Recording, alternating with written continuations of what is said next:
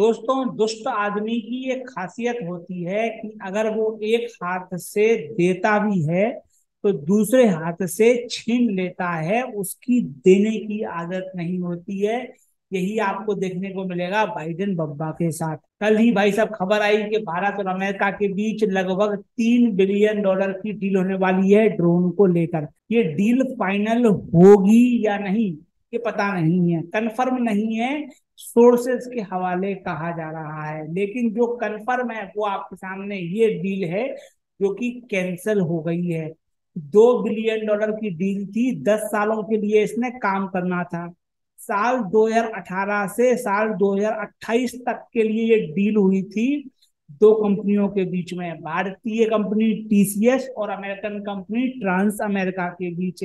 लेकिन ये डील बीच में ही तोड़ दी गई साल 2023 में।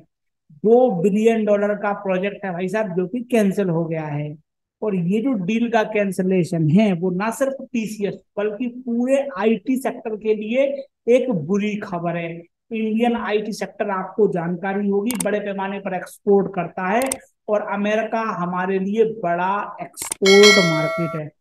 तो अब सवाल उठता है कि ये ट्रांस अमेरिका ने ऐसा क्यों किया? तो दोस्तों, चूँकि इस इंडस्ट्री में हमने भी कई वर्षों तक काम किया है, उसके हिसाब से ऐसा लगता है कि ट्रांस अमेरिका ने डिसीज़न लिया है कि जो काम पहले टीसीएस को हमने दिया था, अब वो काम हम अपने देश में खुद करेंगे।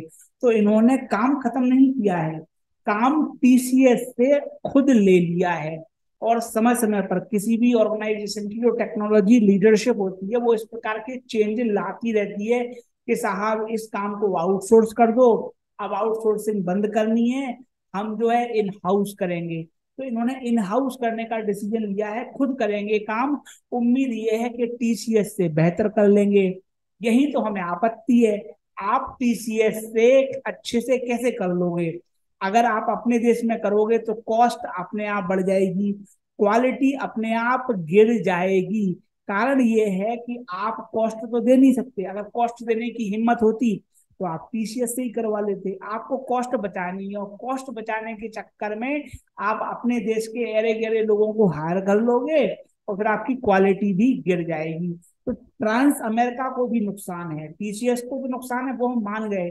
लेकिन ट्रांस अमेरिका को भी आज नहीं तो कल इनके दिमाग की बत्ती जलेगी और ये टीसीएस को ना सही। टीसीएस से छुड़ा लिया, कोई दिक्कत नहीं। कल ये इन्फी को दे देंगे एस सी एल टेक को दे देंगे विप्रो को दे देंगे। कुल मिला के ये काम लौट के आना भारत ही है।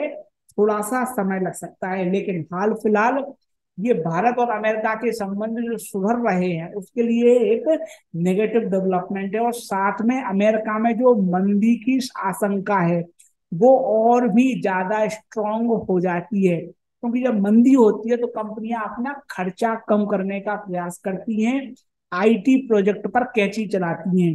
तो इस प्रकार अमेरिका से ये एक बुरी खबर आ रही है, जो हमारी आईटी इंडस्ट्री हमारे मार्केट, ग्लोबल मार्केट के लिए भी नेगेटिव खबर है और अमेरिका से हमारा अक्सर कहना है कि साहब, आप अपने देश में मंदी को भगाने का प्रयास कीजिए, इसको गले मत लगाइए। अगर ये मंदी आ गई तो ये पूरी दुनिया के लिए नेगेटिव होगी, नकारात्मक होगी, सबको इसका खामियाजा भुगतना पड़ेगा पक्के से।